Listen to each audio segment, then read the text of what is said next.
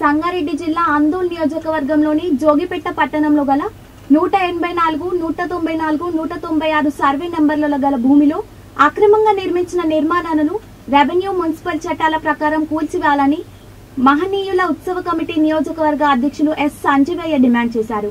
ఈ విషయమై కమిటీ ఆధ్వర్యంలో ఆర్డీఓకు వినతి పత్రం అందజేశారు. ఈ సందర్భంగా సంజీవయ్య మాట్లాడుతూ జోగిపెట్ట పట్టణ పరిధిలోని ప్రభుత్వ భూమిని కబ్జా చేసిన వారిపై చట్ట ప్రకారం చర్యలు తీసుకోవాలని కోరారు.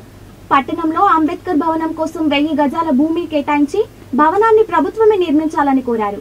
ఈ కార్యక్రమంలో మహా ఎంఆర్పిఎస్ రాష్ట్ర కార్యదర్శి మంటోళ్ళ రాములు మల్ల మహానాడు జిల్లా కార్యదర్శి అందోల్ మల్లేశం మహనీయుల ఉత్సవ కమిటీ నియోజకవర్గ కార్యదర్శి పి మొగులయ్య బహుజన హక్కుల సంఘం వ్యవస్థాపక అధ్యక్షులు ముప్పార పద్మారావు నాయకులు సామ్రాజ్యం సిహెచ్ శంకరయ్య తదితరులు పాల్గొన్నారు.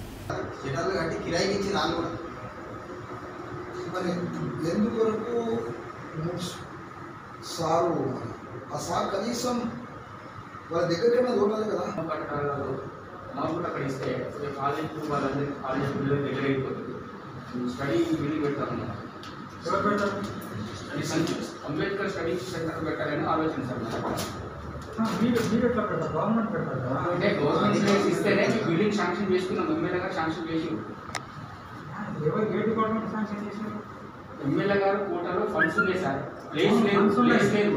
అని ఏదో ఒక డిపార్ట్మెంట్ అదే రైట్ అది కానీ అక్రమ కట్టడాలను ఫస్ట్ ఇంట్లో కొట్టించాలి సార్ ఎందుకంటే వాళ్ళు అక్రమంగా కట్టుకొని భూములు కట్టి ఓటు ఇచ్చారు సార్ చేయించుకుంటున్నారు ఈరోజు ఓట్లు సంపాదిస్తారు లక్ష మరి ఎలాంటి బీద ప్రజలు ఎలాంటి లేని వాళ్ళు దిక్కు లేని వాళ్ళకి అదే రాసి వేస్తారు సార్.